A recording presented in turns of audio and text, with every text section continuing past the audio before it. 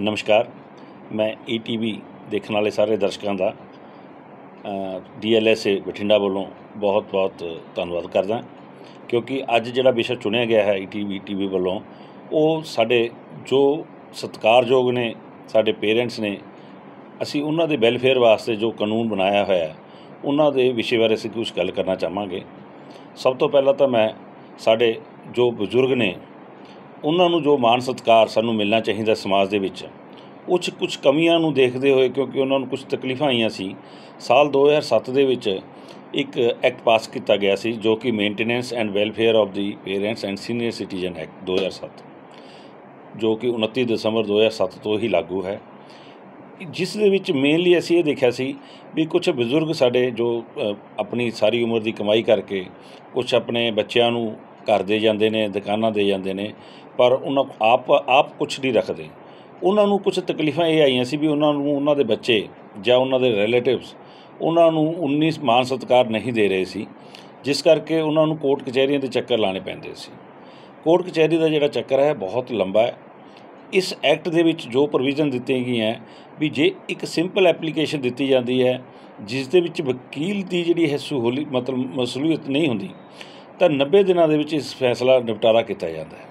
ਸੋ ਇਸ, ਇਹ summary procedure ਦੇ ਤਹਿਤ ਕੰਮ ਕੀਤਾ ਜਾਂਦਾ ਹੈ ਔਰ ਬਹੁਤ ਜਲਦੀ ਨਿਆਂ ਜਿਹੜਾ ਸਾਡੇ ਬਜ਼ੁਰਗਾਂ ਨੂੰ ਮਿਲ ਜਾਂਦਾ ਹੈ। ਖਾਸ ਕਰਕੇ ਇਸ ਦੇ ਵਿੱਚ ਉਹਨਾਂ ਦੇ ਰਹਿਣ ਸਹਿਣ ਦਾ, ਖਾਣ ਪੀਣ ਦਾ ਤੇ ਉਹਨਾਂ ਦੀ ਮੈਡੀਸਨ ਦਾ ਇਹ ਖਾਸ ਖਿਆਲ ਕੇ ਰੱਖਿਆ ਜਾਂਦਾ ਵੀ ਉਹਨਾਂ ਨੂੰ ਟਾਈਮ ਤੇ ਇਹ ਚੀਜ਼ਾਂ ਮਿਲ ਜਾਣ। ਲੰਬਾ ਸਮਾਂ ਉਹਨਾਂ ਦੇ ਸਿਹਤ ਵਾਸਤੇ, ਉਹਨਾਂ ਦੇ ਰਹਿਣ ਸਹਿਣ ਵਾਸਤੇ ਬੜਾ ਤਕਲੀਫ ਦੇ ਹੁੰਦਾ ਸੋ ਸਾਡੇ ਮਾਨਯੋਗ ਜਿਹੜੇ ਜ਼ਿਲ੍ਹਾ ਸਬ ਡਿਵੀਜ਼ਨਲ ਆਫੀਸਰ ਹੁੰਦੇ ਨੇ, ਇਹਨਾਂ ਨੂੰ ਇਹ ਹਦਾਇਤਾਂ ਕੀਤੀਆਂ ਗਈਆਂ ਵੀ ਇਹਨਾਂ ਕੇਸਾਂ ਦਾ ਨਿਪਟਾਰਾ ਬੜੇ ਜਲਦੀ ਤੌਰ ਤੇ ਕੀਤਾ ਜਾਵੇ। ਖਾਸ ਕਰਕੇ ਕੁਝ ਟਰਮ ਸਮਾਂ ਵੀ ਲੱਗ ਜਾਂਦਾ ਹੋਏਗਾ, ਕਿਉਂਕਿ ਕਈ ਵਾਰ ਪਾਰਟੀ ਇੱਕ ਨਹੀਂ, ਦੋ, ਤਿੰਨ ਹੁੰਦੀਆਂ ਨੇ, ਉਹਨਾਂ ਦੀ ਜਿਹੜੀ ਉਹਨਾਂ ਦਾ ਬੱਚਿਆਂ ਦਾ ਰਹਿਣ ਜਿਹੜਾ ਹੈ, ਬਾਹਰ ਵੀ ਹੋ ਸਕਦਾ ਹੈ, ਇਸ ਕਰਕੇ ਕਈ ਵਾਰ ਟਾਈਮ ਵੀ ਲੱਗ ਜਾਂਦਾ ਪਰ ਇਹ ਜਿਹੜਾ ਹੈ, ਬੜਾ ਜਲਦੀ ਤੇ ਛੇਤੀ ਨਿਆਂ ਮਿਲਦਾ ਹੈ ਇਸ ਦੇ ਨਾਲ, ਔਰ ਬੱਚਿਆਂ ਨੂੰ ਖਰਚਾ ਜਿਹੜਾ ਹੈ, ਉਹ ਦੇਣਾ ਹੀ ਪੈਂਦਾ ਹੈ, ਮਹੀਨੇ ਦੇ ਵਿੱਚ ਵਿੱਚ ਜਿਹੜਾ ਖਰਚਾ ਬੱਚਿਆਂ ਨੂੰ ਜੇ ਲੱਗ ਜਾਂਦਾ ਹੈ, ਤਾਂ ਉਹਨਾਂ ਨੂੰ ਜਮ੍ਹਾਂ ਕਰਾਉਣਾ ਪੈਂਦਾ ਹੈ। ਜਮ੍ਹਾਂ ਕਰਾਉਣ ਦੇ ਪ੍ਰਕਿਰਿਆ ਬੱਚ- ਇਹਨਾਂ ਨੂੰ, ਜੋ ਬਜ਼ੁਰਗਾਂ ਨੂੰ ਉਹਨਾਂ ਦੀ ਸਹਾਇਤਾ ਹੈ, ਘਰ ਦਾ ਵੀ ਹੈ। ਜੇ ਸਰਕਾਰ ਨੇ ਇਹ ਵੀ ਐਲਾਨ ਕੀਤਾ ਹੈ ਵੀ ਜੇ ਕਿਸੇ ਬਜ਼ੁਰਗ ਕੋਲੇ ਘਰ ਨਹੀਂ ਹੈ, ਤਾਂ ਸਰਕਾਰ ਦਾ ਜ਼ਿੰਮੇਵਾਰੀ ਬਣਦੀ ਹੈ ਵੀ ਉਹਨਾਂ ਨੂੰ 올ਡ ਹੋਮ ਜਿਹੜੇ ਹੈ ਉਹ ਪ੍ਰੋਵਾਈਡ ਕੀਤੇ ਜਾਣ। ਔਰ ਹਰੇਕ ਡਿਸਟ੍ਰਿਕਟ ਦੇ ਵਿੱਚ ਇੱਕ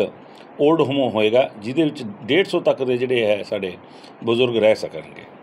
ਇਸ ਤੋਂ ਇਲਾਵਾ ਸਾਡੇ ਕੋਲੇ ਜੇ ਦੇਖਿਆ ਜਾਵੇ, ਕਈ ਵਾਰ ਪਰਿਵਾ- ਬਜ਼ੁਰਗ ਜਿਹੜੇ ਹੈ, ਉਹ ਆਪਣੀਆਂ ਪ੍ਰਾਪਰਟੀਆਂ ਆਪਣੇ ਬੱਚਿਆਂ ਦੇ ਨਾਮ ਕਰਾ ਦਿੰਦੇ ਨੇ। ਪਰ ਉਹ ਇਹ 'ਚ ਇੱਕ ਸ਼ਰਤ ਜ਼ਰੂਰ ਹੈ ਵੀ ਜੇ ਉਹ ਪ੍ਰਾਪਰਟੀ ਉਹਨਾਂ ਨੂੰ ਨਾਮ ਟਰਾਂਸਫਰ ਕਰ ਦਿੱਤੀ ਤੇ ਇਹ ਕੰਡੀਸ਼ਨ ਵੀ ਲਗਾ ਦਿੱਤੀ ਵੀ ਇਸ ਦੇ ਵਿੱਚੋਂ ਮੈਨੂੰ ਖਰਚਾ ਦੇਗਾ। ਸਪੋਜ਼ ਉਹ ਬੱਚਾ ਖਰਚਾ ਨਹੀਂ ਦਿੰਦਾ, ਜੋ ਉਹਦੀ ਸ਼ਰਤਾਂ ਦੇ ਮੁਤਾਬਕ ਪੂਰੀਆਂ ਨਹੀਂ ਕਰਦਾ, ਤਾਂ ਸਾਡੇ ਸੀਨੀਅਰ ਸਿਟੀਜ਼ਨ ਨੂੰ ਇਹ ਅਧਿਕਾਰ ਹੋਏਗਾ ਕਿ ਉਹ ਆਪਣੀਆਂ ਪ੍ਰਾਪਰਟੀਆਂ ਨੂੰ ਵਾਪਸ ਲੈ ਸਕਦੇ ਹਨ। ਸੋ ਇਹ ਬਹੁਤ ਹੀ ਜਲਦੀ ਤੇ ਜਲਦੀ ਨਿਆਂ ਦੇਣ ਵਾਲਾ ਐਕਟ ਬਣਿਆ ਹੋਇਆ ਹੈ। ਸੋ ਸਾਡੀ ਜਿਹੜੀ ਡੀਐਲਐਸਏ ਵੱਲੋਂ ਇਹਨਾਂ ਨੂੰ ਇਹ ਸਹੂਲਤ ਹੈ ਵੀ ਜੇ ਉਹ 60 ਸਾਲ ਤੋਂ ਉੱਪਰ ਹਨ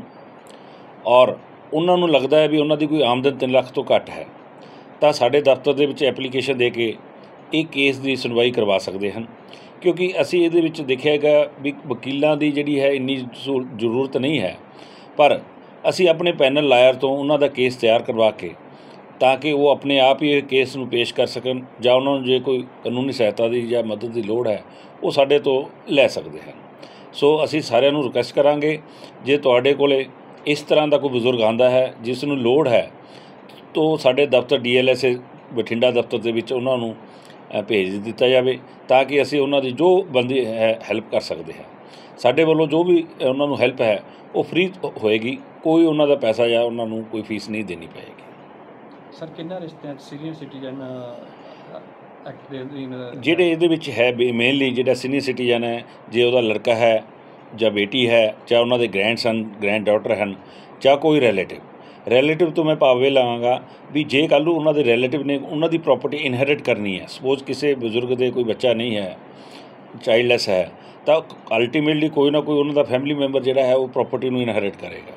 ਉਹ ਵੀ ਜਿਹੜਾ ਹੈ ਇਸ ਐਕਟ ਦੇ ਦਾਇਰੇ 'ਚ ਆਏਗਾ ਤੇ ਉਹ ਰਿਲੇਟਿਵ ਜਿਹੜਾ ਹੈ ਮੇਨਟੇਨੈਂਸ ਦੇਣ ਦਾ ਲਾਇਬਲ ਹੋਏਗਾ। ਸਰ ਗੱਲ ਕੀਤੀ ਜਾਵੇ ਸੀਨੀਅਰ ਸਿਟੀਜ਼ਨ ਤੁਹਾਡੇ ਤੱਕ ਪਹੁੰਚਦਾ ਕਰ ਲੈਂਦੇ ਨੇ ਇਨਸਾਫ ਦੀ ਤੁਸੀਂ ਗੱਲ ਕਰ ਲਈ।